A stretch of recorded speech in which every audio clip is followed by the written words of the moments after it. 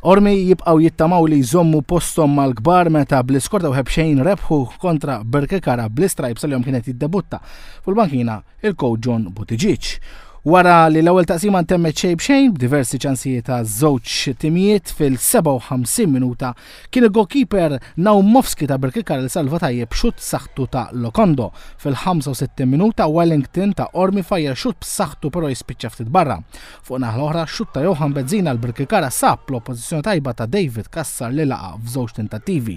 Madanakollu kienu qormi li skorjaw dak li kellu jkun il-gowl tar-rebħa. Kien hemm xutt minn barra l-kaxxa li ġie mblukkat mid-difiża Karkariża iżda pront daħal Antonio Rozzi li kważi minn tarf il-kaxxa approfitta u b'xutt tajjeb għeleb lil Naumovski għal skor finali qormi wieħed Birkirkara xejn.